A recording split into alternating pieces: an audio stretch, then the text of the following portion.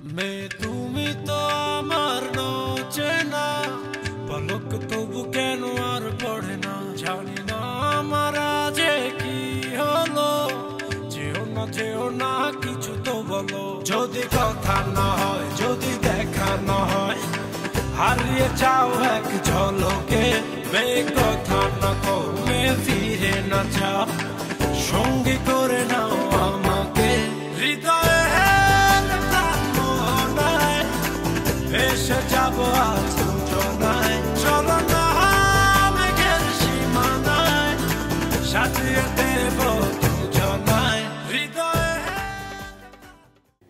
একজন নারী, আপনাদের অনেক প্রিয় মুখ, আমার তো ভীষণ প্রিয়। ফ্যাশনে এনেছেন বিশাল পরিবর্তন। আমরা আজকে তার সাথে কথা বলব। আপনাদের সবার প্রিয় মুখ মাহিন খান। মাহিন আপা আমরা কিন্তু ছোট্ট মাহিনকে আজকে খুঁজে পাওয়ার চেষ্টা করব সেই তোমার শৈশব ছোট্টবেলা। সেই ছোট্ট মাহিনটা কেমন ছিল? তুমি বলো। আসলে শৈশবের কথাটা সবসময় মনে হয় যে একটা খুব স্পেশাল ইয়ার্স আমাদের সব গোল্ডেন হুড যেটা বলি হ্যাঁ। আমরা তাই না? তো আমার ঢাকাতেই বড় হওয়া। ঢাকার বাংলা মোটরে আমার দাদার বাড়ি আমার বাবার বাড়ি ছিল। আহ, সেখানেই আমার প্রথম আঠেরো বছর কেটেছে। অনেক দিন তারপরে আমি বিদেশে চলে যাই। তবে খুব একটা আনন্দের সাথে আমাদের সেই শৈশব বড় বড় আম গাছ বাসায় আমাদের অনেক ধরনের আমরা এখনও আমি অনেক সময় গল্প করি যে আমরা আমার দাদি গরু পালতেন। তো গরু ছিল ছাগলও ছিল হাঁস মুরগি বিশাল একটা মানে নেচারের সাথে আমাদের যে একটা কানেকশন ছিল সেটা আমাদের ছেলে মেয়েরা সেভাবে পায় না এখন আর। তোমার ফ্যাশন ডিজাইনিং এ আসাটা এটা কি তোমার ছোটবেলা থেকে ইচ্ছে? মানে কোনো একটা ই ছিল যে আমি ফ্যাশন ডিজাইনার হব বড় হলে? সেভাবে না তবে আমার মার একটা বড় ভূমিকা ছিল আমার জীবনে। শি ওয়াজ মাই মেন্টার উনি উনিশশো সাতষট্টি সনে উনি একটা বুটিক প্রতিষ্ঠান করেন। ওটার নাম ছিল জয়া। এটা ধানমন্ডি পাঁচ নম্বরে ছিল। ওনার সাথে ওনার একজন পার্টনার ছিল ডলি আলম। তো আমার মা শিলু খান। এবং উনি খুব একজন অন্টারপ্রিনিয়র ছিলেন যে খুব she was very progressive for a time তো সেভাবে ওনাকে দেখেছি ইন্ডিপেন্ডেন্টলি উনি অনেক ধরনের কাজের সাথে জড়িত ছিলেন। যেগুলো অনেক সময় ভলেন্টিয়ারও করেছেন অনেক সময় উনি। বড় বড় সংগঠনের সাথে উনি জড়িত ছিলেন। এবং বাংলাদেশের কারুশিল্পের উন্নয়নের সাথে ওনার বড় একটা ভূমিকা অবশ্যই ছিল। তো সেটা ছোটবেলা থেকে আমার বেড়ে ওঠা। সেটা সেটাকে ঘিরেই আমার কি বলব my whole life experience so I I was really inspired মার অনুপ্রেরণা মার যে লাইফস্টাইল ছিল সেটা আসলে একটা ইন্টিগ্রেটেড আমার জীবনের সাথে গাথা। কতটুকু মিস করো মাকে? মাকে সবসময় মিস করি প্রতিটা মুহূর্তেই মিস করি। তবে মনে করি যে আমার মধ্যে দিয়ে ওনার উনি হারিয়ে যাবেন না আমি আশা করব। তো সেইভাবে আমরা সবাই কিন্তু একটা ইতিবাচকভাবে যদি আমরা কাজ করার চেষ্টা করি জানি না কতটুকু সার্থক হব। তবে আমাদের দেশীয় যে ইন্ডাস্ট্রি আছে আমাদের হোম গ্রোন ইন্ডাস্ট্রি সেটাকে কিন্তু আমরা অনেক ধরে রাখার চেষ্টা করছি। আমাদের বিভিন্ন কর্মকাণ্ড দিয়ে আশা করব ভবিষ্যতে আমরা আরও সুন্দরভাবে আমাদের দেশীয় কাজগুলোকে দেশে এবং বহির্বিশ্বে সব জায়গায় আমরা সেটাকে তুলে ধরতে পারব। তো আমি যতটুকু দেখেছি যে তোমার আড়ং তারপর মায়াসির হ্যাঁ এগুলো তো সব কিছু থেকে দেশীয় তন্তু। এবং দেশীয় তন্তুকে তোমরা বাইরে নিয়ে যাচ্ছ। তুমি ফ্যাশন শো করছ দেশের বাইরে বিভিন্ন দেশে করছ। তো এই যে দেশকে রিপ্রেজেন্ট করছ তোমার নিজের কতটুকু গর্ব লাগে যে তুমি একজন বাঙালি নারী? আমার আসলে কি বলব আই ফিল ভেরি প্রাউড হ্যাঁ? আমাদের একটা দেশের যে আমাদের বেশি বেশিরভাগ about two hundred fifty thousand people are involved in this industry তার মধ্যে আমি মনে করব যে আশি ভাগই নারী এবং তাদেরকে আমরা কর্মসংস্থান দিচ্ছি ইনকাম জেনারেটিং অ্যাক্টিভিটির মাধ্যমে স্কিল ডেভেলপমেন্ট হচ্ছে ওদের।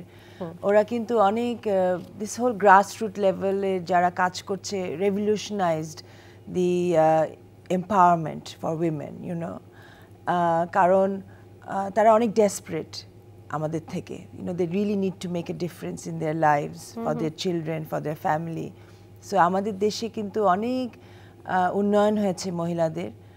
কর্মসংস্থান অনেক হচ্ছে। change হয়েছে, অনেক। অনেক অনেক কাজ হচ্ছে আমাদের গ্রাসরুট লেভেলে এবং আমি মনে করি যে as a designer as an entrepreneur as also the president of the fashion design council I have a lot of responsibility আর সেটাকে মানে টু ইউনো মেটেরিয়ালাইজ করার জন্যে we need a teamwork we need um, সবকিছু মধ্যে হ্যাঁ মানে আমাদের আমি মনে করি যে সবাই মিলে একটি যখন সংগঠন আমরা করেছি সামনে আমাদের অনেক ভালো কাজ হবে আমি মনে করছি। এবং সেভাবে আমরা কাজ কর্মকাণ্ডগুলো আগিয়ে নিয়ে যাচ্ছি। আমাদের সামনে আবার ডিসেম্বরে খাদি ফেস্টিভ্যাল হবে। এবং খাদি ফেস্টিভ্যাল হারিয়ে যাবে না আমি আশা করছি। কারণ খুব interest you know in our own weaves our own বয়ন শিল্পের প্রতি আমাদের কিন্তু অনেক একটি প্রাণের একটা টান আছে। এবং সেটাকে যদি আমরা খুব সুন্দরভাবে পরিকল্পিতভাবে সেটাকে যদি আমরা তুলে ধরতে পারি এবং it has to have a global মানে local idea and a global expression you know these two things must uh, there must be a nice marriage between uh, the two ideas. কারণ রিজনাল লোকাল আমাদের চিন্তাধারা তো থাকবেই। আমাদের যে বিভিন্ন কারুশিল্প আছে আমাদের। From metal bamboo textile jewellery leather অনেক ধরনের কারুশিল্প আমাদের আছে কিন্তু যেগুলোকে আমরা we must take it to the next level মানে it has to get the right kind of platform তো তোমার এই যে সাফল্য এখন তো তুমি সাফল্যের শীর্ষে অবস্থান করছ। তো এই সাফল্যের শুরুটার রাস্তাটা কি মসৃণ ছিল? আমি বলব যে মানুষের জীবনে উত্থান পতন সব কিছুই হয়ে থাকে এবং সেটাকে গ্রহণ করতে হয় with a very positive spirit এবং আমি মনে করি না আমার শীর্ষে স্থানে আমি আছি। আমরা তো মনে করি কিন্তু আমি মনে করি যে ইট ইজ আ কন্টিনিউয়াস একটা প্রগ্রেস একটা কন্টিনিউয়াস ট্রায়াল অ্যান্ড এরারের মধ্য দিয়ে আমরা এগিয়ে যাই সেটাই আমি আশা করব। আর আমাদের কানেক্টিং এভরিবডি এই যে connecting you know the whole industry so that we work together এটা কিন্তু খুব ইম্পর্ট্যান্ট এবং আমাদের যে কমার্ডারি থাকা উচিত সবার মধ্যে যে আমরা সবই সবাই একসাথে একটা একসাথে একটা কাজ করলে সেটার কিন্তু মানে সেটার প্রতিফলনটা অনেক ভালো হয়। আমাদের দেশে আসলে এত রিচ আমাদের টেক্সটাইল এত রিচ আমাদের value additions embellishments and unique original আমি সবসময় বলি আমাদের সাথে যারা ডিজাইনাররা আছেন এবং বাংলাদেশে যারা কাজ করছেন অনেক সময় দেখি they imitate Lucknow Gujarat they imitate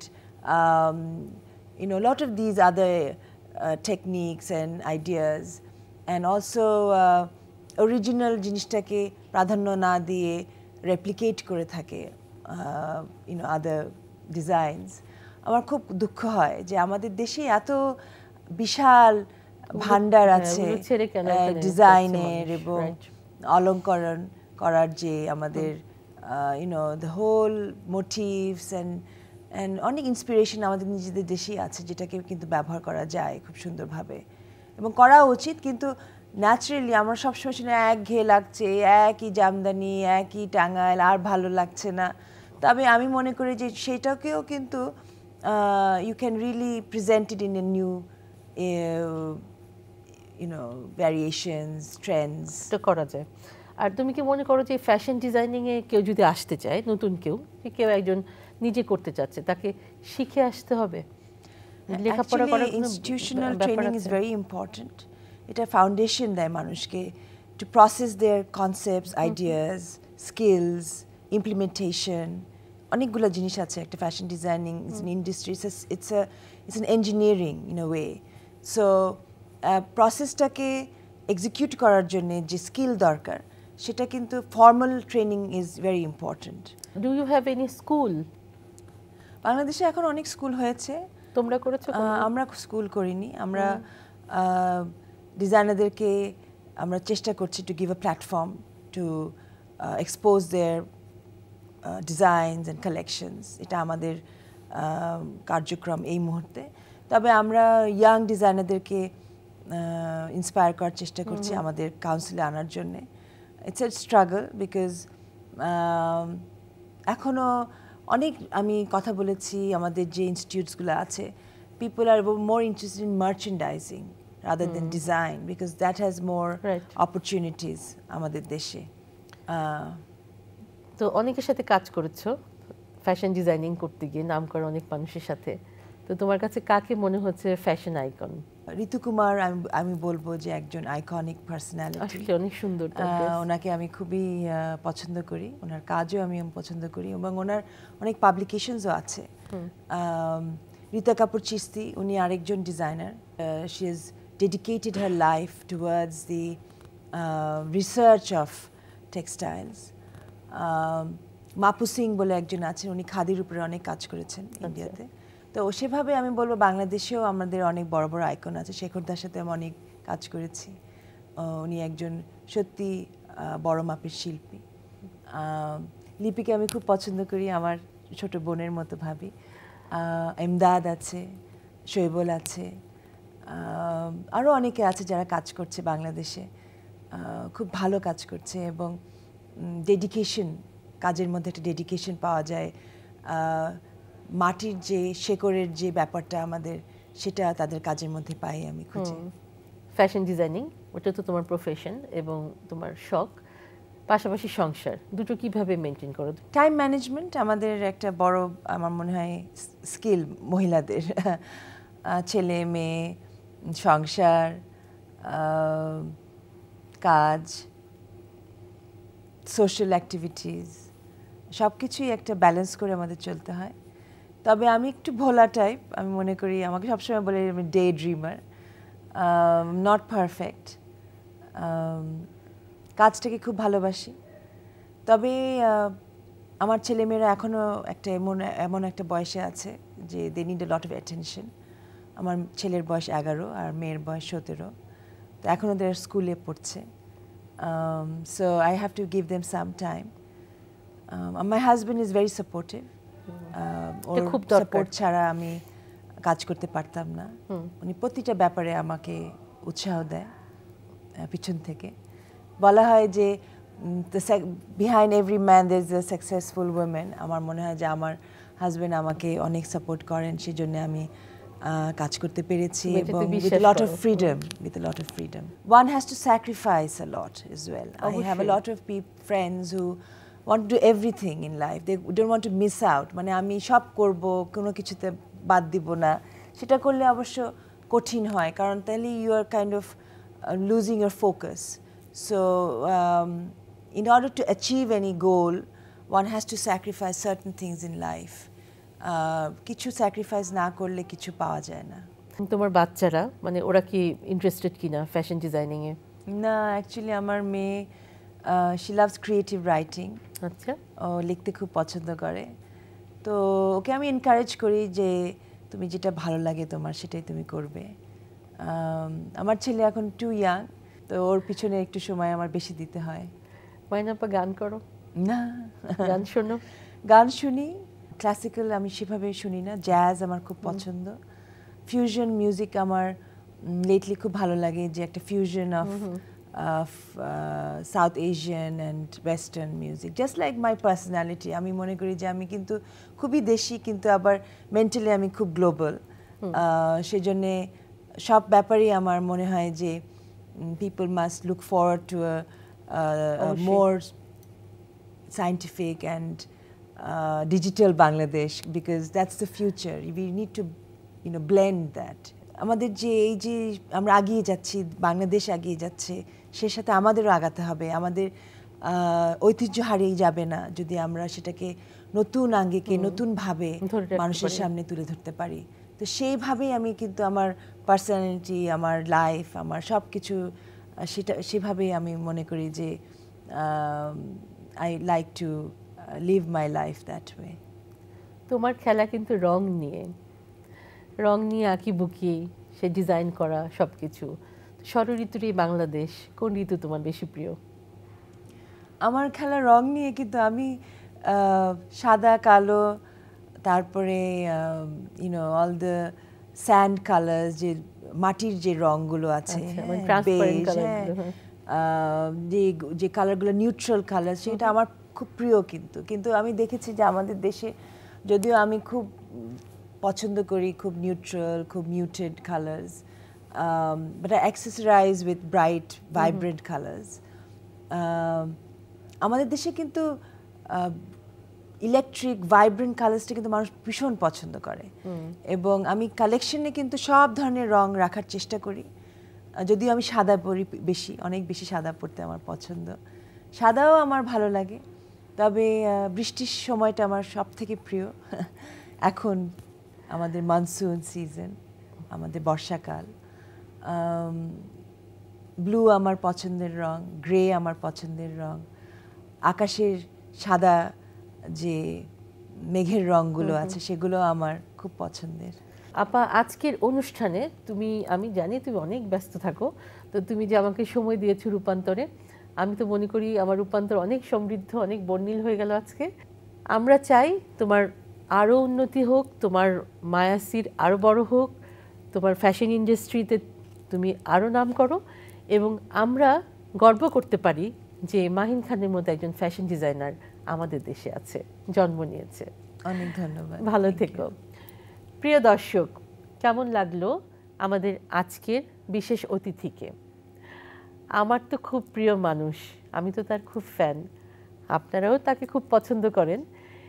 আজকের কথোপকথন মাহিন খানের সাথে যদি ভালো লেগে থাকে, আমাদেরকে ইমেল করুন, আমাদের ইমেল অ্যাড্রেস রূপান্তর zero six at Yahoo dot com সেই সাথে রয়েছে আমাদের সঙ্গে যোগাযোগের আরেকটি ঠিকানা। পরিচালক রূপান্তর জিপিও বক্স নাম্বার দুই চার তিন তিন, ঢাকা এক শূন্য শূন্য শূন্য। আমরা ঠিক এই মুহূর্তে, এই সময় আগামী সপ্তাহে হাজির হয়ে যাব আপনাদের সামনে। নতুন কোনো অতিথিকে নিয়ে ততদিন পর্যন্ত অনেক অনেক ভালো থাকবেন।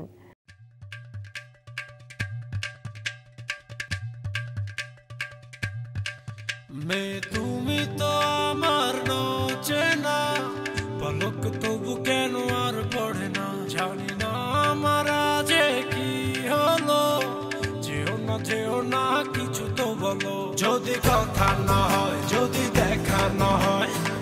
হারিয়ে যাও এক ঝলকে মে কথা না কমে ফিরে না যাও। সঙ্গী